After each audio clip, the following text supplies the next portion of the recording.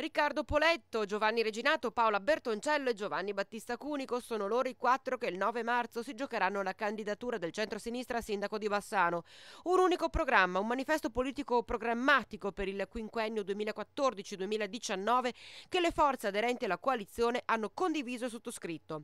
Solidarietà, partecipazione, inclusione, bene comune, trasparenza e rispetto delle regole, i punti cardine comuni a tutti e quattro i candidati che hanno ben chiaro cosa ha bisogno Bassano, a cominciare cominciare dall'attuale segretario PD cittadino Giovanni Reginato. Bassano ha bisogno di un rilancio, ha bisogno innanzitutto di ehm, recuperare dei posti di lavoro perché purtroppo siamo in una grave crisi.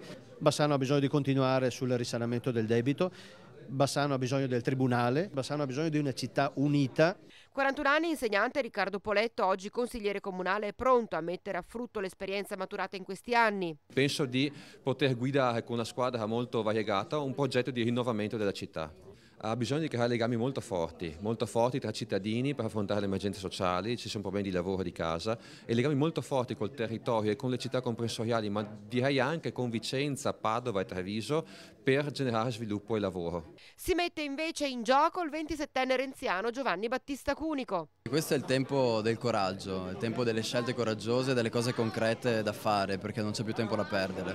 Portare innovazione, idee nuove, freschezza nella città, quindi eh, vivo veramente con entusiasmo queste primarie e con un senso di responsabilità anche. Dirigente scolastica, 65 anni, bassanese doc, Paola Bertoncello punta sulla cultura. Bassano ha bisogno di tante cose, ma soprattutto di valorizzare, valorizzare, secondo il mio punto di vista, il suo patrimonio culturale, ambientale, artistico, museale, eh, di valorizzare il turismo perché in questi tempi di crisi è importante eh, per il commercio e per le attività lavorative di Bassano portare gente qui.